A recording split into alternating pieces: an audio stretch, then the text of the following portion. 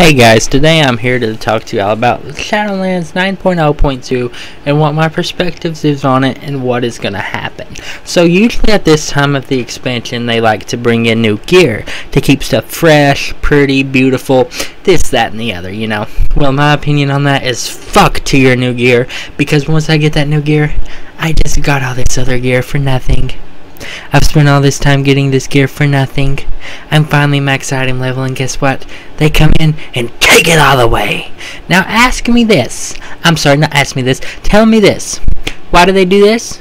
Because they know once you get max item level, you're like, eh, I really don't care to get five more item levels. Unless you're one of those guys that really like, my item levels. Oh God, yes. Ooh, but if you're not that guy, then getting five extra item levels is not gonna feel rewarding. So they revamped this whole gear system to make you think that you're getting better gear. But in reality, you're getting the same gear. You're gonna hit almost as hard but it's going to feel like you're more powerful because your HP is going to go up and your item level is going to go up. That's what they do every expansion. It's nothing new, and I wish they would just keep the gear slowly increasing and or just make it upgradable.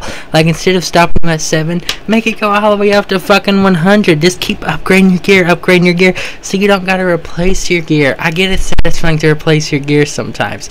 But man I just don't want to throw all this gear that I've got after all this time away just to replace it with new gear. It would feel like I was working all that time for nothing for nothing damn it. Why the fuck do I want to work for nothing